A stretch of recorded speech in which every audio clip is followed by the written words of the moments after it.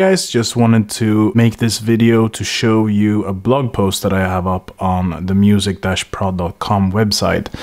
This is a blog post showing uh, different lists with uh, compatible both software, so digital audio workstation or audio software in general. Then we have plugins, so different plugins if they're running natively or just running on the system. And then we have also sound interfaces. So just a basic list of sound interfaces if they work or if they don't work.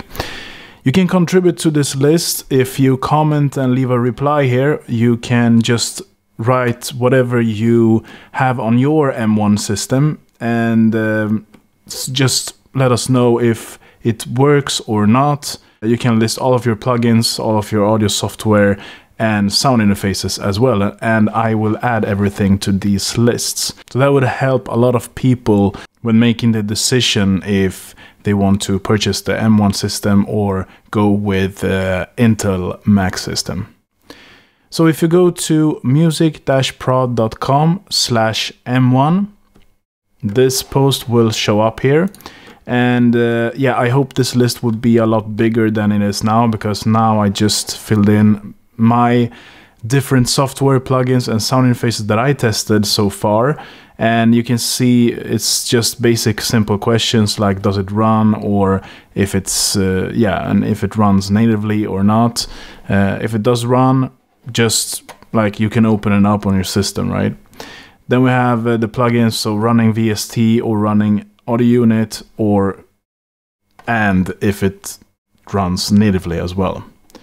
So you can see as of now I haven't seen any plugins besides the Logic Pro built-in plugins that runs natively. So yeah, and this is also what I haven't the Logic plugins listed here because uh, they are included in Logic Pro as well. So if that is native, the I assume that Logic Pro plugins will be native as well. But um, yeah, I've seen some plugins loading in the uh, in the emulation kind of software there, uh, but some not. So yeah, if someone knows if the Logic Pro plugins are running natively on M1, let me know in the comment section because I haven't figured that out yet. I've been trying to search a lot on this topic and can't find anything that makes any sense. So that is why I'm making this list so we can have everything organized and yeah, to help other people as well with the decision of uh, the new M1 systems.